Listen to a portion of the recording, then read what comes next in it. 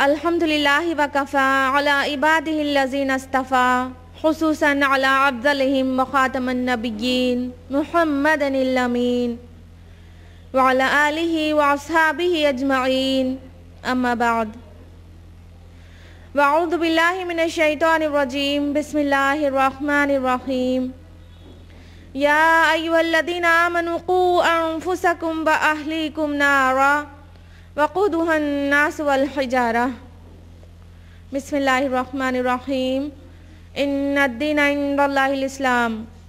बिस्मिल्लाहिर्रहमानिर्रहीम। रब्बिश्रह ली सदरी वयस्सिर ली अमरी। वहलुल उक़दतम मिन लिसानी यफ़क़हू क़ौली।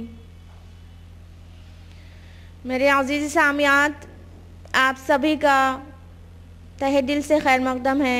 अस्सलामु अलैकुम रहमतुल्लाहि व बरकातुहू मेरी आज की इस गुफ्तु का मौजू है नई नस्ल की दीनी तालीम व तरबियत की अहमियत। सबसे पहले मौजू में आए अल्फाज का माना जान लेते हैं, ताकि मकसद ज़्यादा समझ में आ सके। आज के मौजू में एक तालीम लफ्ज़ आया है इसका रूट वर्ड है इल्म, आइन, लाम, मीम, इसका रूट वर्ड है।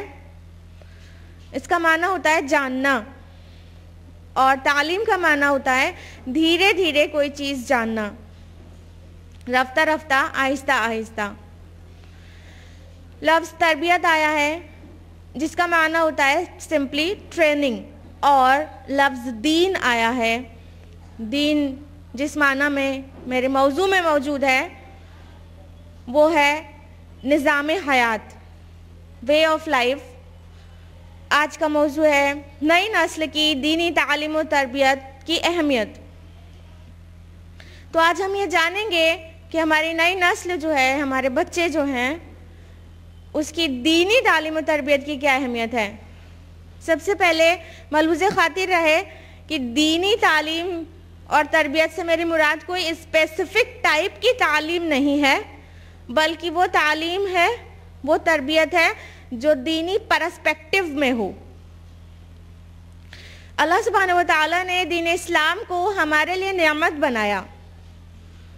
फरमाने बारी ताला है, सूरह मायदा, सूरह नंबर पाँच, आयत नंबर तीन, अलयोम अकमल तो लकुम दीन अकुम व अतमम तो अलैकुम नेमती वरदी तो लकुम दीना। आज हमने तुम्हारे लिए तुम्हारा दीन मुकम्मल कर दिया और तुम पर अपनी नियामत तमाम कर दी। और तुम्हारे लिए इस्लाम के दीन होने पर रजामंद हो गया। मतलब ये कि दीन इस्लाम हमारे लिए नेमत है। तो ज़ाहिर बात है, ये वो नेमत है जो हमारी दुनिया और आखिरत दोनों संवारने के लिए ज़रूरी है हमें कि हम दीनी माहौल में ख़ुद भी रहें और अपनी नई नस्ल की तालीम तरबियत भी उस माहौल में करें। उसकी क्या ज़रूरत है? एक बात तो ये हुई कि कोई भी मुसलमान, कोई भी अहले ईमान इस बात का इनकारी नहीं हो सकता कि आखिरत में उसकी कामयाबी और नजात का ज़रिया दीन ही बन सकता है। इससे इनकार नहीं है हमें हम में से किसी को भी। तो ये दीन जिस पर चल कर इंसान की आखिरत संवर जाएगी, ये हमारा अकीदा और ईमान में शामिल है। लेकिन अगर उसके साथ ही आज का माहौल बहुत ख़राब हो तो उसकी अहमियत और ज़्यादा बढ़ जाती है कि दुनिया से लेके आखिरत तक बन बनने और संवरने में ये ख़राब माहौल बहुत नुकसानदेह रोल प्ले कर रहा है, जिसकी वजह से अक्सर वालदेन बहुत बड़ी बड़ी टेंशन में हैं है कि नहीं है हुँ? जितने भी माएँ यहाँ पर बैठी हुई हैं, उन्हें इस बात की बहुत ज़्यादा फ़िक्र है कि नहीं कि हमारे बच्चे इस माहौल में, जो मौजूदा माहौल है, इस माहौल में रहकर कैसे कामयाब होंगे, उन्हें कहीं उसका इन्फेक्शन ना लग जाए, वो बुराइयाँ समाज में जो फैली हुई हैं, उससे वो इन्फेक्ट ना हो जाएँ।